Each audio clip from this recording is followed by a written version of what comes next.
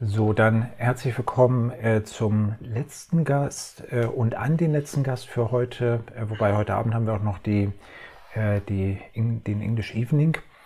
Ähm, und sprechen möchte ich mit äh, Bastian Spanneberg äh, über das Thema Site Reliability Engineering. Und Bastian, magst du dich einfach vorstellen und kurz sagen, wer du bist, was du so machst? Gerne. Erstmal danke für die Einladung natürlich. Und genau, wer bin ich? Ähm, mein Name ist Bastian Spanneberg. Ich bin momentan Director of Site Reliability Engineering bei Instana. Ich habe bei Instana vor ungefähr fünf Jahren angefangen als Plattform-Engineer, würde ich sagen. Da war die Firma quasi gerade relativ frisch gegründet und ja, habe die Entwicklung der Firma ähm, technisch sowie kulturell sozusagen von vorne bis hinten miterlebt. Bis zum Zeitpunkt, wo wir jetzt von IBM gekauft wurden. Genau. Ähm, herzlichen Glückwunsch übrigens dazu. Das ist auf jeden Fall ein super Erfolg. Ähm, wir haben jetzt über Ins Instana gesprochen, aber ähm, was macht ihr denn überhaupt? Instana ist ein Monitoring-Produkt äh, letztendlich, ein Application Performance Monitoring und Observability Tool. Das heißt, wir ähm, haben Metriken, um Infrastruktur zu überwachen, um auch Applikationen zu überwachen. Wir machen Tracing, ähm, wie viele unserer Bewerber eben auch, also Distributed Tracing. Und genau, sammeln aus diesen ganzen Datenströmen, die wir verarbeiten, aus diesen ganzen Eventströmen, halt Daten ein, verarbeiten die und versuchen sinnvolle Schlüsse aus diesen Daten zu ziehen und sie den Usern zur Verfügung zu stellen. Genau, und ähm, die, das Thema sollte, heute ist ja Site Reliability Engineering. Was ist denn das überhaupt? Gute Frage. Site Reliability Engineering. Also ähm, es gibt ein schönes Zitat ähm, oder nochmal einen Schritt zurück.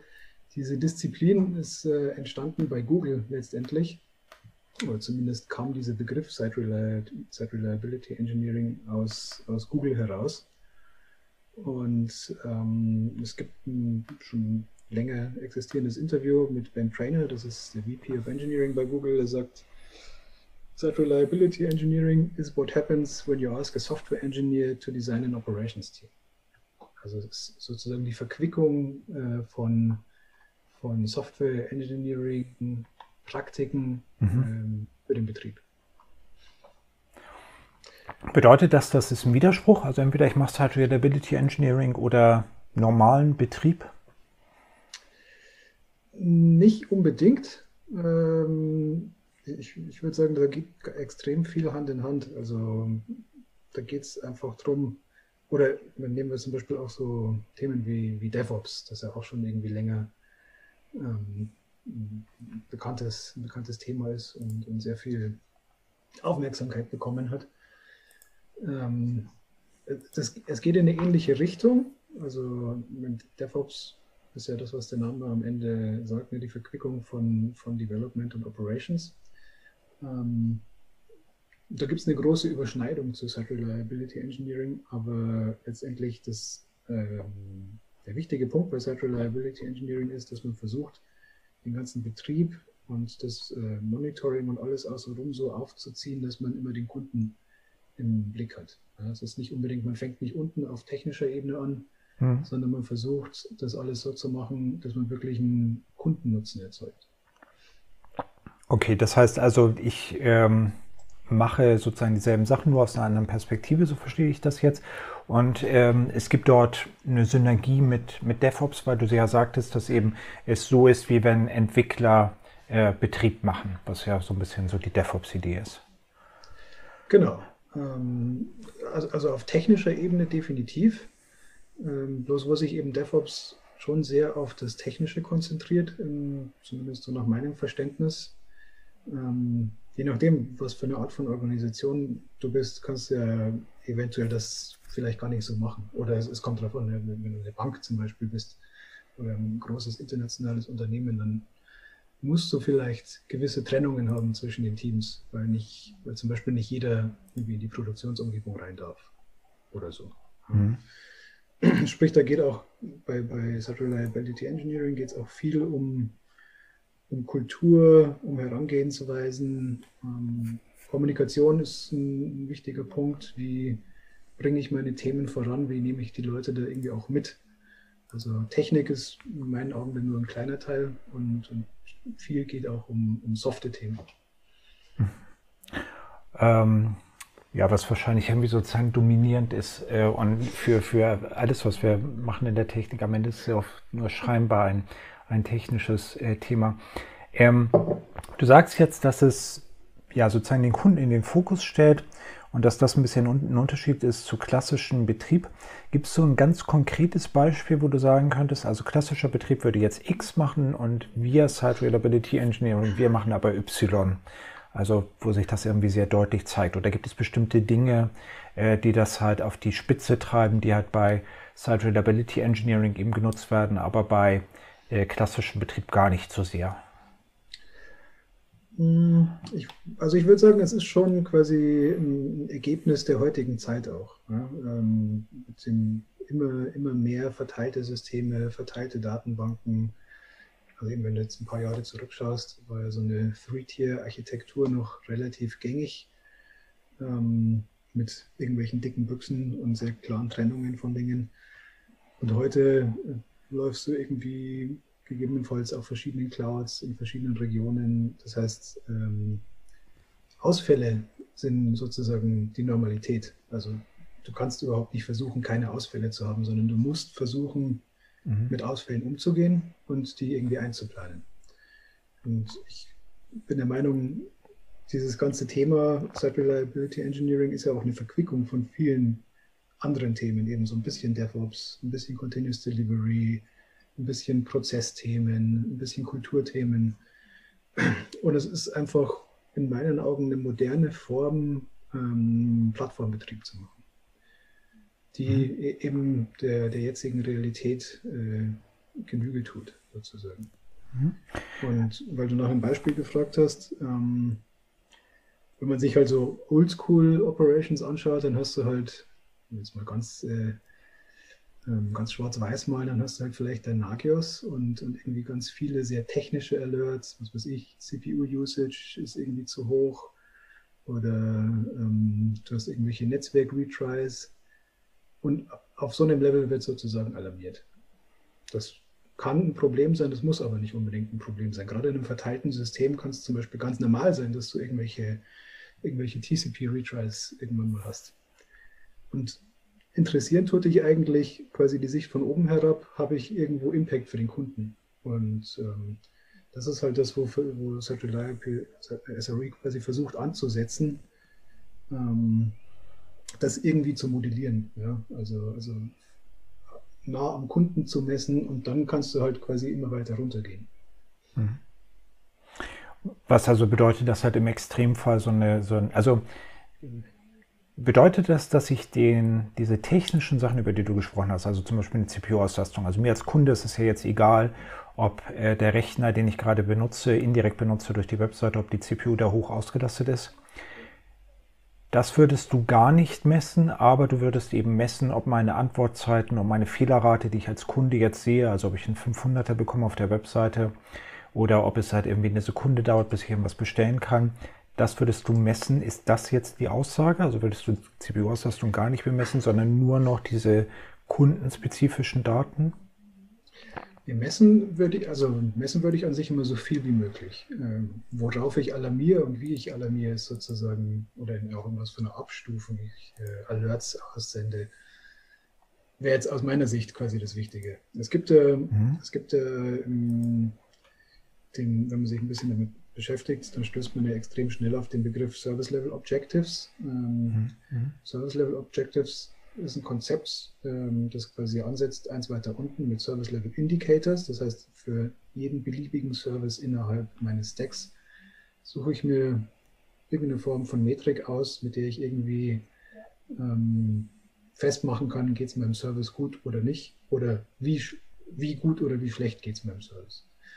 In unserem Fall zum Beispiel, wir verarbeiten sehr viele Daten, wir haben quasi ein Sekunden, ähm, ein Sekunden Granularität in unseren Daten. Wir kriegen also permanent Daten. Das heißt, bei uns wäre das sowas wie eine Drop Rate von irgendeiner Verarbeitung. Wie gesagt, du musst mit, mit einem gewissen, äh, mit gewissen Fehlern musst du rechnen. Also ist vielleicht die Drop Rate für einen bestimmten Verarbeitungsservice wäre der Indicator mein Service Level Objective wäre, ich will ähm, für ein beliebiges rollendes Zeitfenster X ähm, 99 Prozent der Daten verarbeiten. Mhm. Damit definierst du dann, was dann auch in dieser Welt quasi gerne benutzt wird, dein Error Budget. Dein Error Budget wäre jetzt quasi in dem Fall 1%. Also 1% der Daten darf ich quasi innerhalb jedes Zeitfensters, ähm, erlaube ich mir selbst zu droppen und kann dann auch gegenüber meinem Kunden ein gewisses Service Level Agreement anbieten und kann sagen, ich verarbeite Normalerweise nimmt man dann das Service Level Agreement noch mal ein bisschen weniger aggressiv als ein SLO. Also das sollte immer aggressiver sein als das SLA. Und sagt dann, ach, also ich garantiere, dass du 98 oder 97 Prozent deiner Daten zu jeder Zeit verarbeitet hast. Okay, und das wäre, ähm, würdest du dann den Alert darauf aufbauen? Also, dass du halt sagst, an der Stelle, wo es 99,5 Prozent oder irgendwas ist, dann fange ich halt an, Leute zu alerten und eben nicht auf den technischen Sachen? Nicht nur, also darauf auch. Ähm, bei uns ist es schon so, dass wir natürlich schon auch quasi weiter unten Alerts haben, um möglichst zu vermeiden, dass wir jetzt irgendwie so ein Error-Budget sozusagen ausschöpfen. Also, aber eben, du kannst das ja auch mehrstufig anlegen. Ja? Also spätestens, wenn du dieses Error-Budget irgendwie, wenn du das brichst, dann sollten quasi genug Leute alertet werden und dann ist klar, jetzt muss es, jetzt muss ich auf jeden Fall jemand dran können. Mhm. Also sind die, die anderen Indikatoren eher so, so Vorhersagen und für Vorhersagen nützlich? Ist es das? Also sowas wie eine CPU-Auslastung oder so kann ja dann sagen, dass ich halt gleich ein Problem haben werde, die, das sich dann eben kundenspezifisch sozusagen bemerkbar macht. Genau, also jetzt, ich kann jetzt natürlich auch nur für unser Beispiel nennen. Wir alerten zum Beispiel überhaupt nirgendwo auf CPU-Auslastung, aber wir mhm. haben natürlich viele Services, die wir betreiben und manche sind näher am Kunden und manche sind weiter weg vom Kunden. Und wir haben eigentlich SLOs für all diese Services. Also das heißt, jetzt in dem Fall, was weiß ich, es gibt irgendwo Ingestion, dann gibt es irgendwie Verarbeitung oder eventuell mehrstufige Verarbeitung. Und bevor sozusagen dieses Dropping beim Kunden bemerkbar wird, hast du ja vielleicht weiter unten schon im, im Stack irgendein SLO, das dann triggert. Und das ist dann für dich sozusagen der Weg zu sagen, okay, das muss ich mir anschauen und dann muss ich mal rausfinden, was das Problem ist. Und zu dem Zeitpunkt habe ich dabei, bin ich noch nicht in Gefahr, dass eben der Kunde sozusagen was, äh, was merkt. Genau. Ähm, du bist ja jetzt Director of Service Level äh, of Site Reliability Engineering, äh, wenn ich es richtig verstanden, äh, wenn ich es richtig mitbekommen habe. Ähm, das bedeutet, das ist offensichtlich ein wichtiges Thema bei Instana. Was hat es denn Instana gebracht? ähm, also man muss sagen, ja, das hat sich bei uns auch so entwickelt, das Thema. Deswegen finde ich es auch ganz passend zu sagen, dass das eine Art des Betriebs für moderne Architekturen ist, die, die sehr gut passt. Also am Anfang habe ich angefangen, ich hatte noch nicht mal so einen richtigen offiziellen Titel, ich würde mal sagen als Plattform-Engineer. Hm. Ich hatte ein gewisses Software-Engineering-Background und bin aber quasi ins, als zweites Mitglied in das Operations-Team eingestiegen. Und am Anfang haben wir noch eher klassisch gearbeitet, ne? weil wir da die ganzen, äh, die ganzen Mittel noch gar nicht hatten. Ähm, das glaube ich, teile ich tatsächlich doch mal kurz das Bild, wenn ich kann. Ist das der richtige Desktop? Ja. Genau, wir sehen jetzt da die, diese SAI-Pyramide. Genau. Und, und am Anfang ähm, hatten wir, wir hatten natürlich irgendwie Monitoring, wir hatten Alerting, aber in diese, diese Pyramide definiert sozusagen aufeinander aufbauende Disziplinen und Themen, die du quasi angehen solltest, äh, wenn du SRE machen willst. Also du brauchst natürlich irgendwie sinnvolles Monitoring, sonst kannst du gar keine Aussagen treffen über deine Plattform. Monitoring und Alerting. Mhm. Das ist auch die Grundlage dafür, dass du überhaupt sinnvollen äh, Incident Response betreiben kannst. Also, dass du erstens merkst, wenn es Probleme gibt und äh, auch entsprechend darauf reagieren kannst und die, die Probleme analysieren kannst. Und dann eben äh, Root Cause Analysis betreibst, aus, aus diesen Incidents deine Learnings mitnimmst über Postmortems das wiederum nimmst, um das quasi früher in deinem ganzen, in deinem ganzen Value Stream äh, dafür zu sorgen, dass diese Art von Fehler, die vielleicht aufgetreten ist, nicht mehr auftritt. Um neue Tests aufzusetzen, um ähm, eventuell die Software resilienter zu machen, um gewisse Circuit Breaker oder sowas einzubauen. Mhm. Und dann, ähm, wenn du quasi da angelangt bist und quasi so viel weißt über deine Plattform, sind so die nächsten Stufen halt, du kannst gute Vorausplanung betreiben, dass du nicht in Kapazitätsengpässe äh, gelangst. Ähm, du kannst anfangen, eigenes Tooling zu entwickeln oder halt die Tools besser zu integrieren, bis hin zu, du setzt dich mit deinen Kunden auseinander, um zu lernen, ob das, was du machst, eigentlich quasi sinnvoll für die Kunden ist oder nicht. Das ist so diese Struktur, an dem sich auch dieses Google-Buch entlanghangelt. Genau, die, die Abbildung ist aus dem Google-Buch, nehme ich an, nicht? Also da oben steht Dickersons genau. Hierarchy of, of Reliability. Exakt. Ähm, das ist ja jetzt ein Vorgehen, also das heißt, du sagst, man fängt eben bei Monitoring an und läuft dann eben diese Pyramide hoch bis hin zum Produkt über Capacity Planning und so weiter. Ähm, an welcher, also wie soll ich sagen, kann man irgendwie abschätzen, wenn ihr diesem, dieses, diesem Konzept nicht gefolgt wärt, was ihr dann für Probleme gehabt hättet bei Instana oder wo ist der Hauptbenefit? Gibt es irgendetwas, wo du sagen würdest, wow, da habe ich irgendwie gedacht, äh, das ist irgendwie super, dass wir auf dieses Konzept gesetzt haben, weil dadurch konnten wir X, Y und Z vermeiden oder wir haben jetzt A, äh, A, irgendwas erreicht oder so? Also kann man das sozusagen illustrieren, anfassbar machen? Mm, also ich würde sagen, der Hauptbenefit ist dann vielleicht am Ende tatsächlich, äh, dass es ein, also das SRE an sich sehr kollaborativ ausgelegt ist. Das heißt, mhm. du bist eigentlich darauf angewiesen, mit vielen verschiedenen anderen Funktionen innerhalb deiner Firma zusammenzuarbeiten. Das ist ja schon mhm. so, dass jetzt eben, es ist, also SRE ist nicht DevOps. Ja? Das heißt, auch in unserem Fall, wir haben keine, keine Teilproduktteams, die Entwicklung und Betrieb gemeinsam machen, sondern wir haben Produktentwicklungsteams äh, und es gibt das SRE-Team, das eigentlich für den, für den Betrieb der kompletten Plattform verantwortlich ist. Und eben, das, das kann mehrere Gründe haben. Erstens, weil du vielleicht nicht die Manpower hast, um so einen richtigen DevOps-Ansatz zu machen, oder weil es Regularien gibt, ähm, die das verhindern. Aber wenn du eben mit diesem Ansatz arbeitest, bist du quasi trotz alledem dazu angehalten und irgendwie auch gezwungen, sehr eng zusammenzuarbeiten. Weil wenn mhm. neue Services entstehen, muss natürlich das SRE-Team verstehen, wie funktionieren die. Was, was sind zum Beispiel die SLIs, an denen ich irgendwie das Verhalten festmachen kann. Das muss zusammen mit den Engineering-Teams passieren. Mhm. Also ähm, Hört sich ein bisschen an wie gemeinsam den Kunden glücklich machen und das impliziert eben zum einen äh, äh, eine, eine, starke Kommunikation, aber eben auch eine Kundenorientierung im Betrieb, wo man das ja irgendwie sonst vielleicht gar nicht äh, vermuten würde. Nicht? Also im klassischen Betrieb würde man sagen, Kunden ist es ja egal, also dem Endbenutzer von Instana ist es ja egal, was euer Betrieb macht, aber das ist dann eben nicht so, sondern im Gegenteil, auch der Betrieb richtet sich dann eben am Kunden aus. Exakt. Ja. Und ich meine, eben früher galt ja zum Beispiel Performance irgendwie als non-functional non requirement, mhm. aber das ist ja eigentlich illusorisch, weil also gerade in der, in der heutigen Zeit, wo viel irgendwie mit Plattformen funktioniert, wo viel irgendwie online funktioniert, wie zum Beispiel auch unser Produkt unter anderem ein SaaS-Produkt ist, ähm, so, also bin ich der Meinung, solltest du dich ja auch am Kunden orientieren. Denn wie gesagt, wenn der Kunde nicht glücklich ist, dann hast du irgendwann keine Kunden mehr und am Ende zahlen die dein Gehalt. Mhm. Ähm, eine Sache noch, die ist mir jetzt gerade eben aufgefallen. Du hast gesagt, ähm, wir machen kein richtiges DevOps, sondern wir reden halt stärker miteinander. Ähm, das hört sich ein bisschen an, also das könnte man interpretieren als eigentlich sollten ja Entwickler und Betriebler zusammenarbeiten, da sind wir aber noch nicht. Ist das so? Also glaubst du, dass das ein logischer nächster Schritt wäre und noch weiter überlegen oder ist das, äh, ist das sozusagen überinterpretiert?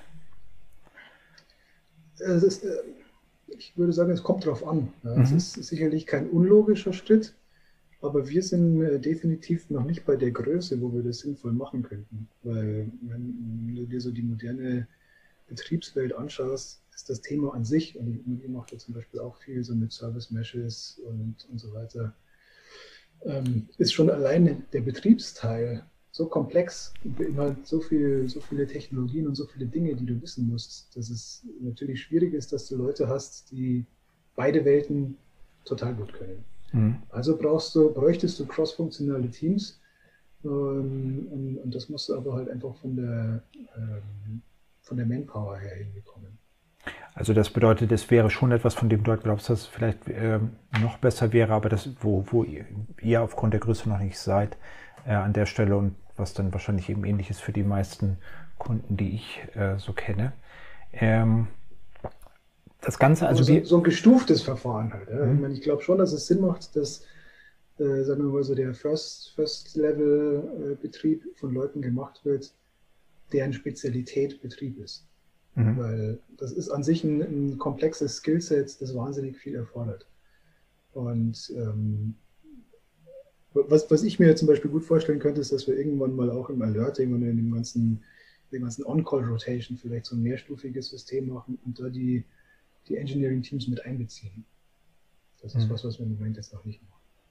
Okay. Aber da bist du dann natürlich auch an dem Punkt, wo du das irgendwie klären musst, gesetzlich und so weiter und so fort. Genau, also ich finde das halt deswegen spannend, weil es gibt ja auch die Interpretation von DevOps, dass man sagt, es sind eben Entwickler und Betrieb, die kollaborieren, aber nicht unbedingt in einem Team sind. Und den Teil, äh, das ist ja etwas, was ihr offensichtlich umgesetzt habt. Also nicht so weit äh, seid ihr da, äh, seid ihr da ganz klar. Ähm, was bedeutet das Ganze jetzt für Softwarearchitekten oder Softwarearchitektinnen? Also wenn ich jetzt irgendwie in einem Projekt stecke und eben eine Person bin, die halt irgendwie auf dieser Architekturebene arbeitet, das sind ja äh, schließlich ist es hier ja Softwarearchitektur im Stream. Was bedeutet das für mich? Was sollte ich dann tun? Was solltest du denn tun? Also wenn's, äh, ja, wenn es in deiner Organisation ein SRE-Team gibt, dann äh, bist du, glaube ich, auch für die einer der ersten Ansprechpartner, um Entscheidungen zu treffen, wo es auch ähm, technisch hingeht, ne, wenn es was Veränderungen der Plattform anbelangt.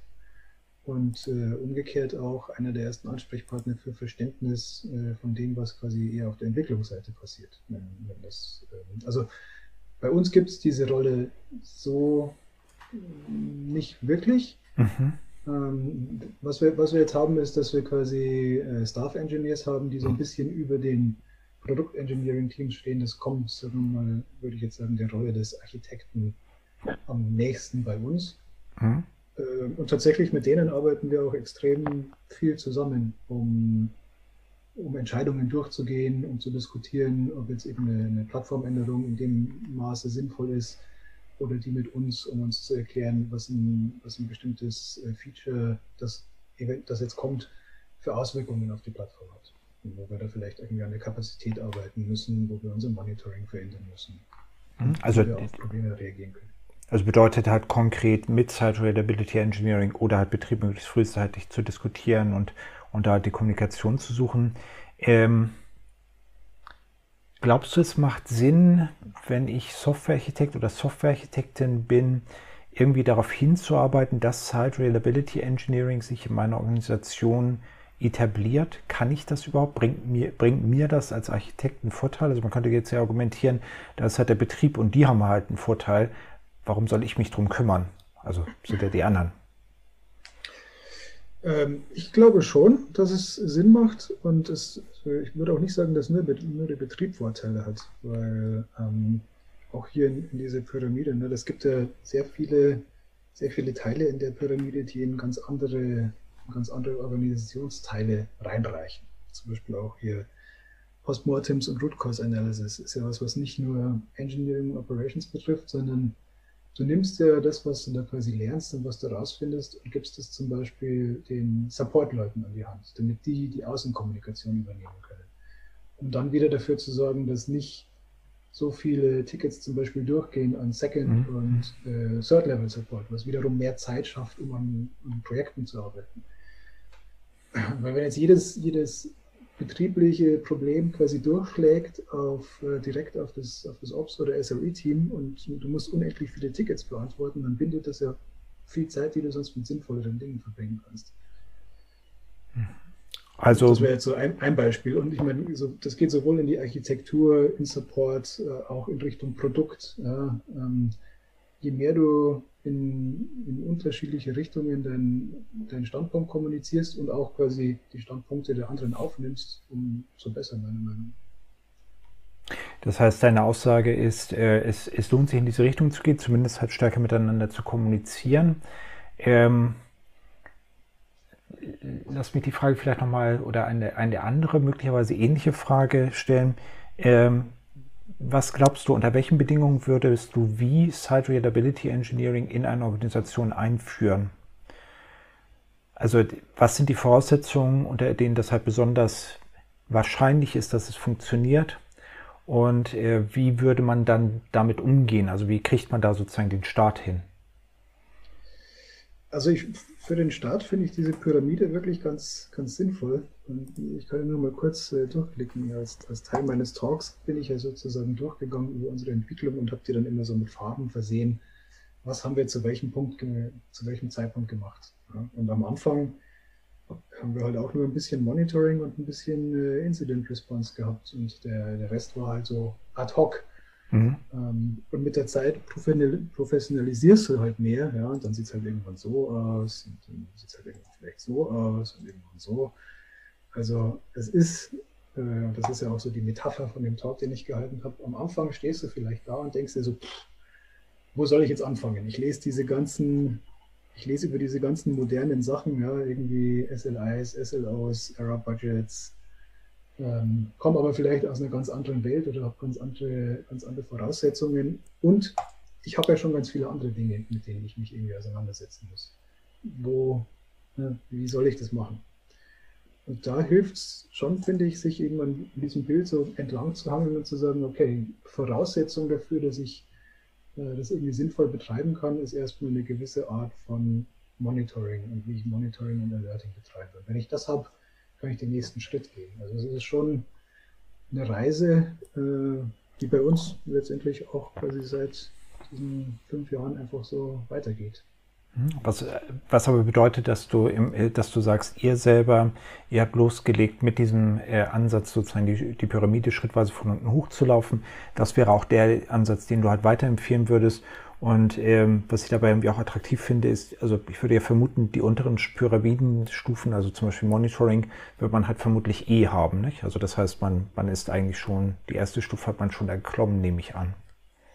Genau, meine, ob, man dann, ob man dann das monitort, was man auch wirklich äh, braucht, das muss man halt dann rausfinden in dieser Stufe. Mhm. Ähm, wie gesagt, wir haben früher, also diesen, diesen SLO-Approach, den hatten wir auch nicht von Anfang an. Am Anfang hatten wir halt irgendwie Health-Checks in unseren Komponenten und so ein bisschen System-Level-Monitoring. Ähm, und das haben wir halt Stück für Stück modernisiert. Auch quasi in dem Maße, in dem wir unser eigenes Produkt modernisiert haben, weil wir Instana benutzen, um Instana zu monitoren. Mhm. Es, es gibt dieses ähm, SRE-Book von Google. Ich glaube, das ist sogar kostenlos, oder ist es das? Ich weiß es nicht. Genau, ich habe auch äh, diese Links auf dieses Google Doc von dir gepackt. Also es gibt mittlerweile drei SRE-Books oder es gibt das SRE-Book, das SRE-Workbook, ähm, mittlerweile auch eins, was eher so in Richtung Security geht. Und ähm, das waren noch so ein paar andere Links, die ich ganz, ganz nützlich fand. Bücher zu dem Thema.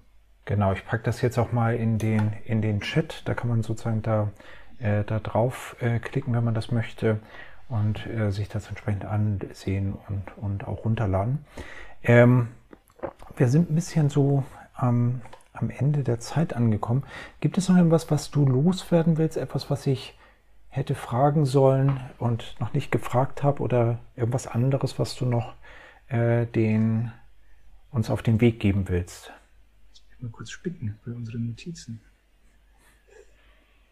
Das hier äh, kann ich, kann ich vielleicht nochmal hervorheben, wobei ich es äh, auf andere Art schon gesagt habe. Wenn man liest, wenn man quasi dieses Thema irgendwie anfangen will und man liest mhm. da viel, aber was man, was man liest, kommt eigentlich fast ausschließlich so von den Big Five, also Google, Facebook, mhm. Netflix und so weiter. Und das sind natürlich Riesenorganisationen, ähm, die diese Disziplin sozusagen miterfunden haben. Ja? Und wie auch bei vielen anderen Themen, die in den letzten Jahren halt irgendwie ähm, hip waren, ist es, ist es so, dass man nicht unbedingt das genauso machen kann wie Google. Und das muss einem halt klar sein. Man muss halt pragmatisch irgendwie gucken, was kann ich zu welchem Zeitpunkt machen, das stückweise versuchen irgendwie aufzubauen und sich nicht den Wind aus den Segeln, Segeln nehmen zu lassen. Genau, und also das, was in dem Dokument halt stand, war diese Sache mit äh, Google ist super groß, was dann steht zu unserer Größenordnung. Und eigentlich habe ich jetzt aus dem, aus dem, was du gesagt hast, noch eine andere Konsequenz für mich gezogen. Also eigentlich die, die Konsequenz, dass eben nicht nur diese Big Five, sondern eben auch ein Unternehmen eurer Größenordnung ähm, und eben auch, das ist ja auch gewachsen, nicht? also ich, ich weiß gar nicht, wie viel wart ihr am Anfang, als ihr damit angefangen habt? Ähm, ich glaube, ich war Mitarbeiter Nummer 15. Also was, was sozusagen auch in diesen Größenordnungen Sinn macht, nicht nur wenn man irgendwie 15.000 Angestellte, äh, Engineers hat, sondern eben auch an der Stelle, wo man 15 hat, kann man daraus irgendwie was lernen. Und das, das ist, glaube ich, etwas, was wichtig ist, äh, wenn man, wenn man sich halt sonst e-, eben anschaut, was die Großen machen und dass das eben teilweise nur für deren Größenordnung irgendeinen Sinn macht.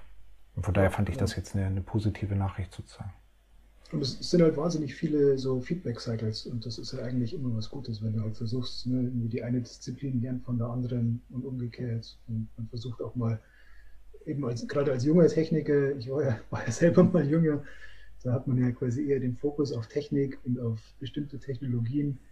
Und ähm, was ich schön finde bei SRE ist, dass das eine sehr ganzheitliche Sicht ist äh, auf das Produkt und auf, auf das Business als solches. Ne? Du musst halt quasi äh, du solltest versuchen, Mehrwert zu erzeugen. Weil, wie gesagt, am Ende, wenn du keine Kunden hast, dann gibt es auch keinen, der dein Gehalt zahlt.